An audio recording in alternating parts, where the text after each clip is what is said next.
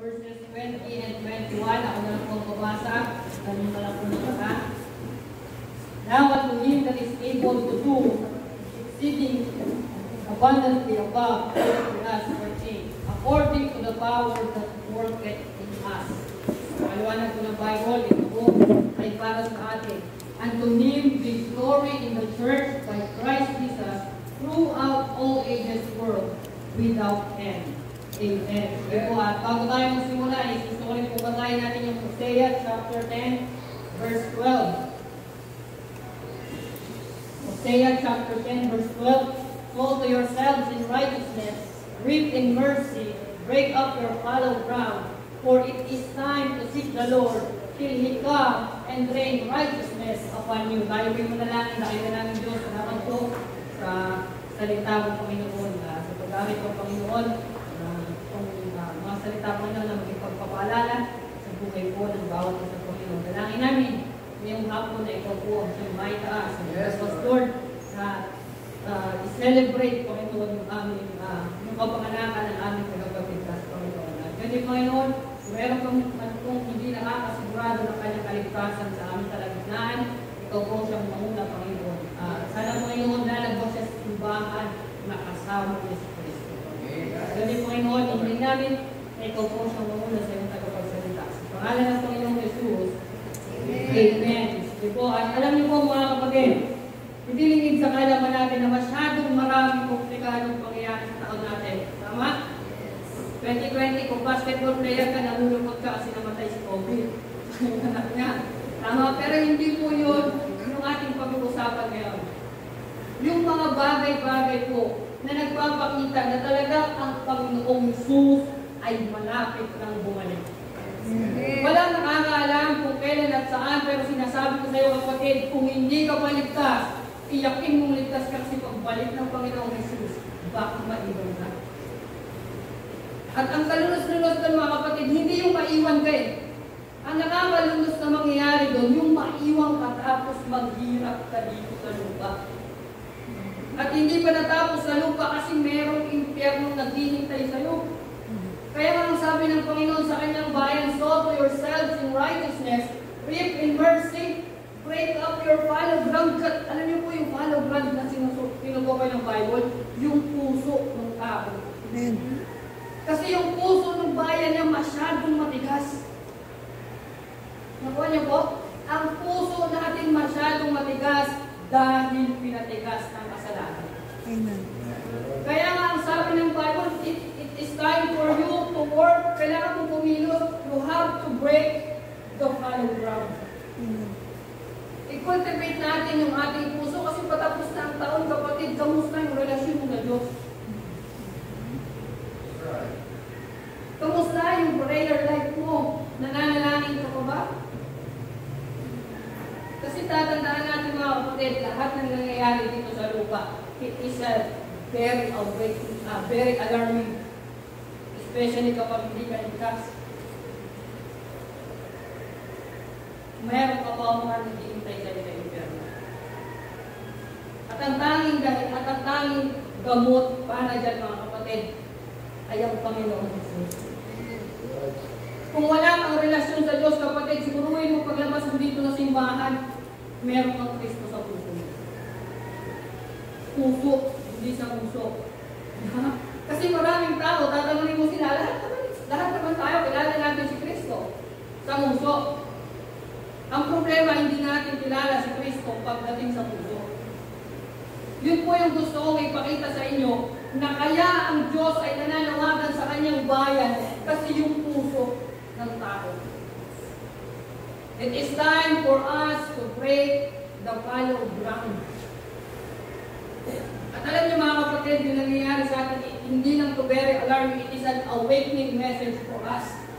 Mayroong gustong ituro ang Diyos sa bawat isa sa atin. Tinuturuan niya tayo sa paraan na hindi natin maunawaan minsan. Biruin niyo, ang dami namatay sa pan- pande- pandemya, ha? Ang dami namatay na yung 2020. Pero hindi yung patay ang tinutukoy sa ng Diyos. Tinuturo sa ng Diyos paano kung isa ka sa. Sigurado ka ba na ikaw ay papasok sa kaharian ng langit? Yun yung masakit. Kasi hindi natin alam sa dami ng namatay na yun, sino yung papasok kaya sa kanila sa kaharian ng langit. It is a very, it is very alarming message. It is a waking message. Alam niyo mga kapatid, it is an appealing message. Gusto ng Diyos kumilos ka. Tandaan mo, ang tao kailanman hindi niya hinahanap ang Diyos. Hinahanap niya palagi ang sarili niya. People are busy na kumita ng pera para sa kanilang bukasan nila. They are busy para kumita para sa kanilang mga plano sa buhay. Ang tanong, kamusta na pagplanuhan na ba kapag napatay ka mo? Wala nakakaalam, tama po, paano paglabas mo dyan sa gate na yan? Mabubuhay ka pa kaya? Kaya ngayong hapon mga kapatid, makita natin dito na walang ibang mahalaga matapos man ang taon. Kung hindi mo kilala si Kristo, bali wala. Papasok ang 2021, mas magandang pumasok ang 2021 kung hindi pa bumalik ang Panginoong Jesus, ligtas ka. So, kailangan masigurado mo na meron kang relasyon sa Diyos. Kasi ang sabi ng Panginoon, tingnan niyo ha, I am the way, the truth, and the life. No man cometh unto, unto the Father, but by me. Alam niyo ba, wala, alam mo pumunta ng simbahan, pero hindi mo alam pumunta ng langit. Tama? Sigurado, wala naman nakakasiguro kung papasok ka sa langit. Hindi po. In John chapter 3, verse 16, Ganun na lamang ang pagsinta ng Diyos sa sanlibutan at binigay niya ang kanyang buktong na anak na ang sino mang manampalataya sa kanya ay hindi mapapahamak bagkus magkakaroon ng buhay na walang hanggan. Wala ba nakakaalam? Meron. Kung mananampalataya tayo kay Kristo. Amen. At yun yung magdadala sa iyo sa kalangitan. Hindi yung mabuting gawa. Mabuting gawa. Tandaan niyo po, ang tao kaya na hindi gumagawa ng mabuti. Amen. Ano sabi ng Bible? There is none righteous. No, not one. Wala kahit na isa. Even ako po, even ang pastor, sa salita. Tandaan niyo po, wala kaming katuwirang maihaharap sa tao unless sa katuwiran ng Diyos. Kaya nga napakahalaga na magkaroon tayo ng relasyon sa Diyos. Kasi tandaan niyo, lahat ng nakikita natin nangyayari sa mundo, pinapakita yan ng Diyos para lumapit sa Kanya. At mga kapatid, tingnan niyo po, balik tayo yung Ephesians chapter 3. Now unto him that is able to do exceedingly, uh, exceeding abundantly above all that we ask or think, according to the power that worketh in us. Alam mo kapatid, kung ikaw ay nananampalataya kay Kristo, napakapala mo. Bakit? Kasi ang sabi ng Bible, yung kapangyarihan ng Diyos na siya kayang magbigay, exceeding abundantly, more than what we ask. Yun yung kapangyarihan iyo. At alam niyo mga kapatid, number one, ang Diyos, kumikilos siya sa mga nararanasan natin. Yun po ah.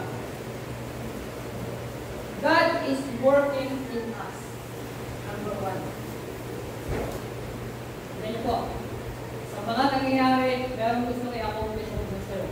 Gusto ng Diyos, siguruhin mo na kapag namatay ka, pupunta ka sa langit. Gusto ng Diyos, magkaroon ka ng relasyon sa Kanya. Yun yung gusto niya accomplish. Hindi kanya tinatakot. To, na, hindi kanya tinatakot sa COVID-19. Tinatakot kanya kasi dunos-dunos ang aabutin mo kapag namatay ka. Number two mga kapatid, God is working for us. Nakuha niyo po, tingnan niyo ha, dahil sa COVID-19, tingnan niyo, maraming tao natuto ng disiplina. Wala nagtutulakan sa pila. Tama? Discipline. Ano pa? Pag sumakay ka ng jeep, wala nagsisiksikan. Maluwag. Alam niyo, pag lumabas ka, mas delikado na umubo kaysa umutot eh. Tama?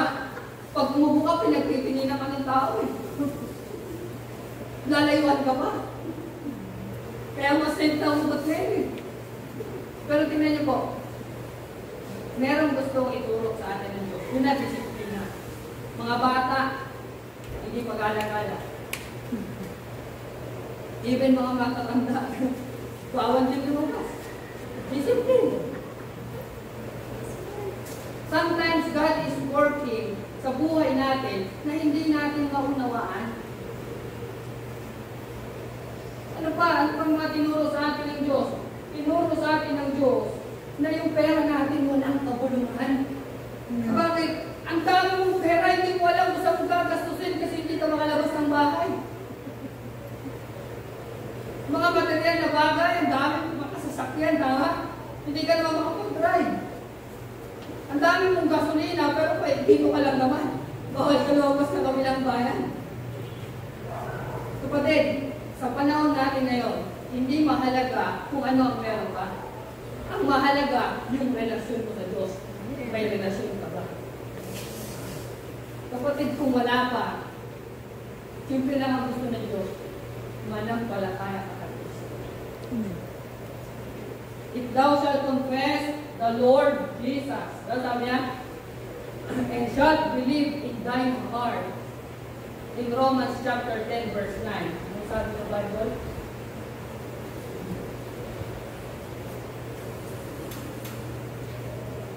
But if thou shalt confess with thy mouth the Lord Jesus, and shalt believe in thine heart that God hath raised him from the dead, thou shalt be saved. Kita nyo na, hindi siya muso sa puso. Maniwala ka ng buong puso, hindi muso. Yan ang pananampalataya kay Kristo. Naniniwala ka kahit hindi mo siya nakita. Yan yung magliligtas sa'yo, yung pananampalataya mo. And then, hindi lang mga kapatid hindi lang God is working in us, and God is working for us, kasi meron siyang gustong ituro sa atin, God is working through us. Kumikilos ang Diyos sa pamamagitan natin. Bakit? Kasi tandaan po, kaya binigyan pahintulutan ng Diyos yung mga bagay na yan sa atin. Kasi dahil din sa atin. Ang tao masyado na kinalimutan ang Diyos. Ano na lang sila? Pera, kumita ng pera, trabaho, maghanap ng ganito, maghanap ng ganyan, gimmick, business, kung ano-ano. Pero ang Diyos, tandaan mo, kahit kinalimutan mo siya, hindi kailanman kinalimutan. Amen. That's why God is using us to work in us. Dahil ang tao pasaway, o sige, bigyan natin ng pandemic para hindi kayo magsimaglabas. Dahil ang tao masyadong gusto kumita ng pera, sige, subukan natin mag-pandemic, tanggalin natin yung mga trabaho nila. Ang masakit dyan, kapatid, matatapos ang taon, ang tanong, may natutunan ka ba? Tama? Ano yung natutunan natin sa mga naranasan natin? Yun yung issue dyan. Huwag mong hayaan matapos ang taon, lumipas ang taon, walang naituro sa iyo. At napakahalaga niyan, mga kapatid, di ba Hana? Diba? Napakahalaga niyan. Maging sensitive tayo sa mga tinuturo sa atin ng Diyos. Kaya kung wala kang relasyon sa Diyos, kapatid, sinasabi ko sa iyo, mayroong tiyak na kapahamakan. Merong tiyak na kapahamakan naghihintay sa atin sa impyerno. At ang gusto ng Diyos, manampalataya ka kay Kristo. Manampalataya na tayo. In Ephesians chapter 2, verse 8 and 9, ngayon po. Ephesians chapter 2, verse 8 and 9, For by grace are you saved through faith, and that not of yourself is the gift of God. Hindi mo kaya iligtas ang sarili mo kapatid, kaya meron mo Pasko. Tama? Bumaba si Kristo para iligtas ka kasi hindi mo kaya, napakaliwanag. Hindi sa pamagitan ng iyong sarili, ito ay regalo ng Diyos. Bakit? In verse 9, not of course, test anyone to go para wala tayong mga ipagbala. Wala tayong kakayahan. Kaya nga sabi niya, manampalataya ka lang sa Kanya at ikaw ay maniligtas. Ganyan tayo kamahal ng Diyos, kapatid. Mga kaibigan, hindi mo nasisigmado na ikaw ay papasok sa kaharian ng langit. Kung sakaling ikaw ay bawian ng buhay, at di mo alam kung saan ka tutungo, sinasabi ko sa'yo, dalawa lang ang patutunguhan ng tao. Sa langit, para sa mga tao na nanampalataya sa Diyos. At interno, para sa mga tao na hindi tumanggap sa Diyos. Amen. Now, alin sa dalawa ang gusto? Mo, hindi namimilit ang Diyos. Mahal ka niya, kapatid, kaya sinasabi niya sa iyo, tanggapin mo siya. Ang Diyos hindi na mamalipit ng kamay. Tanggapin mo siya o hindi, hindi siya nabalan. Pero ikaw, tandaan mo, pag di mo siya tinanggap, lahat ng bagay ang kawalan. Lahat ng bagay dito sa lupa, walang kabuluhan. Lahat ng yan, mapapalitan ng walang hanggang kaparusahan sa impyerno. Kaya manampalataya para sa Diyos. Po, ah, di tayo pag- natin patatagalin.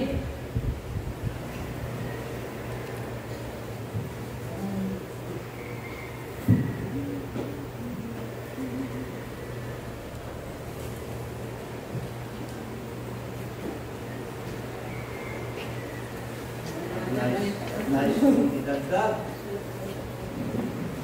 na ating ipinagdiriwang ang karawan ng pagkapanganak ng ating Panginoon Jesus. At dapat ngayon pagdiwang sapagkat nagsimulang immortal ang tao. Kayo, ako, lahat tayo, naging immortal tayo. Bakit paso? Sapagkat ang Panginoon Jesus isinilang at doon sa cross binayaran ng ating mga kasalanan at sa kanyang dugo nilinis. Siya ay namatay, siya ay inilibing, at siya ay nabuhay na muli. At sabi niya, ako ang unang resurrection. Ang ibig sabihin ng Panginoon, lahat ng, ng tao ay mabubuhay na muli. Kaya kawawa kung hindi mo, kung wala kang relasyon sa Panginoon Jesus, at ikaw ay mamatay, ang iyong katawan at ang iyong mga laman, buto, nandoon, nandoon sa hukay, ang iyong kaluluwa at ang iyong spirito, sinusunod sa impyerno. Pagdating ng resurrection, bubuhayin uli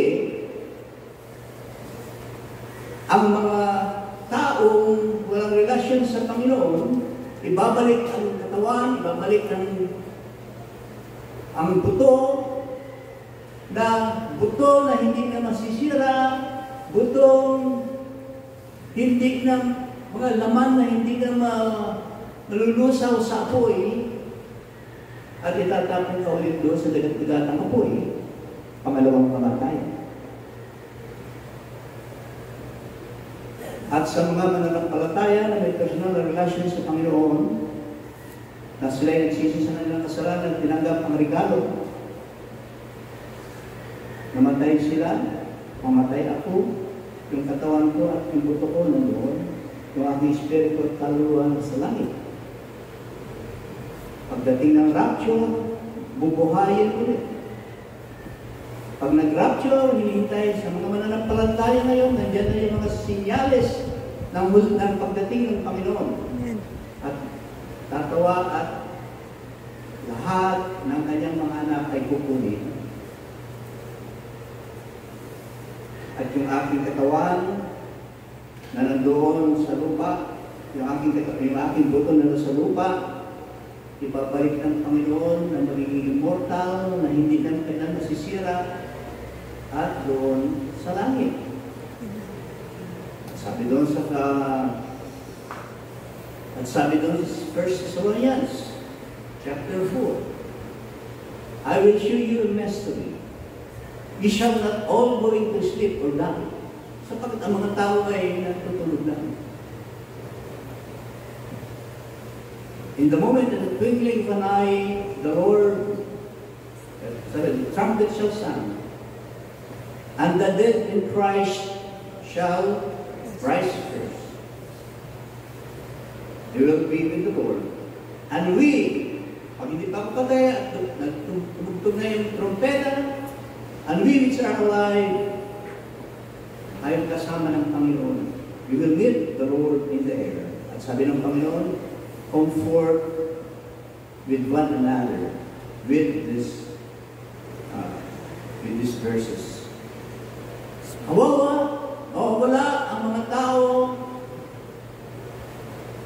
Tatayin naman yung Antikristo kung narinig yung 666.